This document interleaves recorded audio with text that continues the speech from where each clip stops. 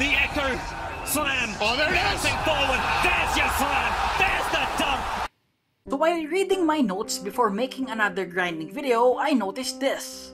Vice Admiral gives out 15,000 bellies. Then I compared it to higher level bosses like Chief Warden and Warden. The reward is lower.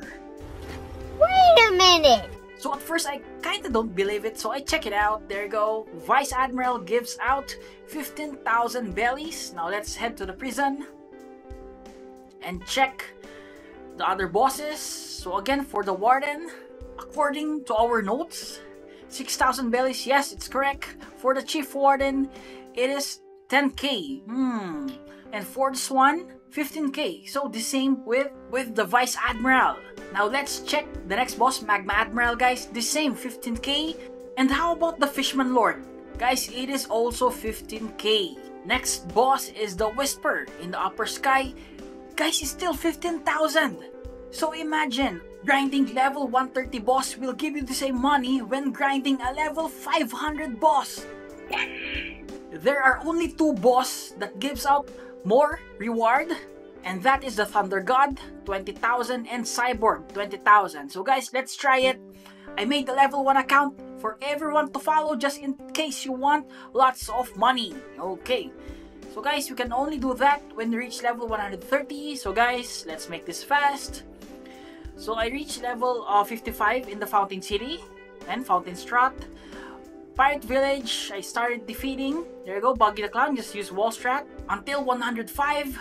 And next up is Yeti until 130. Guys, I only defeated bosses because I'm using combat only. And after that, finally 130, I went to the Marine Fortress. And now we are ready to defeat the Vice Admiral. But Gamer Nom, is it hard? No guys, I am going to show you how to defeat it using combat at level 131.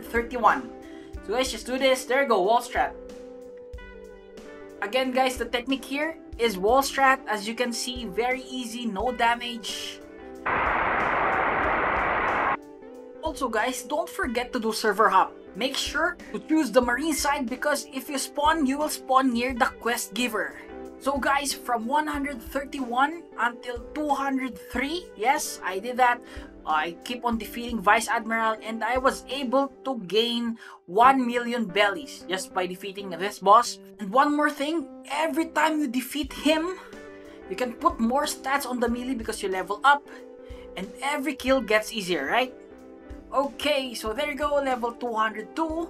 203 now we got 1 million bellies. So guys i hope that you enjoyed or learned something from this video. If you want to get a rich account at low level do this trick. Again to all the viewers subscribers supporters i really appreciate you all. This is gamer nom and gamer nom out